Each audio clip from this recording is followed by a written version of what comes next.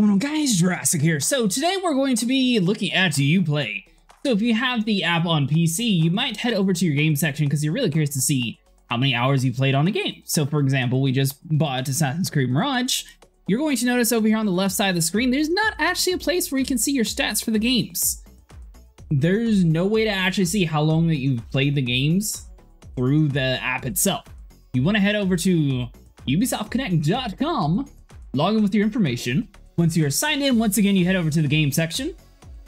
Now, for example, if you want to click on Assassin's Creed Mirage, you're going to notice there's a whole new section called Stats and Leaderboards, which we did not have before. If you click on this, it'll show you your exact time played, your progress, and all the other fun stuff and things.